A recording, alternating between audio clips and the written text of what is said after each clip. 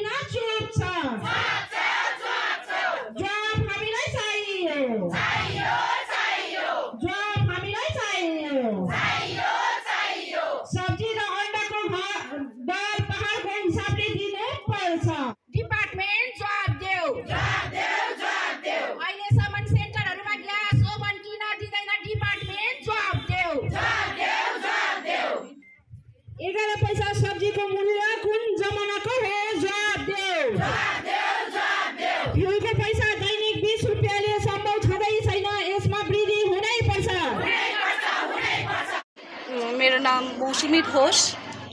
मैं पश्चिम बंग आंगनबाड़ी कर्मी सहायिका कल्याण समिति का राज्य कमेटी का वर्किंग प्रेसिडेंट। आज यहाँ पर धरना दे रहे क्यों? इस बारे में थोड़ा बोल आज का अवस्थान करने का जो है इसका मूल जो विषय है वो है हम लोगों का बहुत दिन से अ, 2018 से हम लोगों का ऑनरियम वृद्धि नहीं हुआ।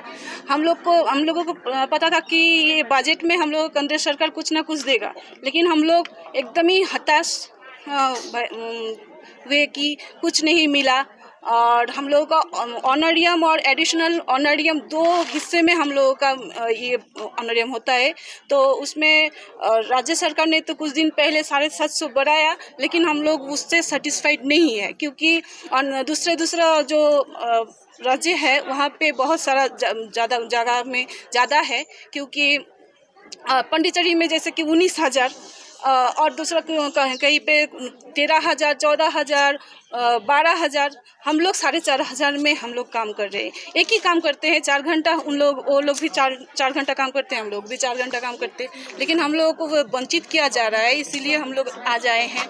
और एक बात, जैसे कि 2022 से हम लोग पोषण ऐप्स का काम शुरू किया। हम लोगों का डिपार्टमेंट से अभी पोषण ऐप्स का माध्यम में काम होता है, वो ऑनलाइन काम होता है। लेकिन केंद्र सरकार से दो टाइम हम लोगों के लिए, मोबाइल फ़ोन के लिए पैसा आया है। एक बार आठ हज़ार, एक बार दस हज़ार। लेकिन आज तक हम लोगों के हाथ में एक मोबाइल नहीं दिया गया डिपार्टमेंट के और से।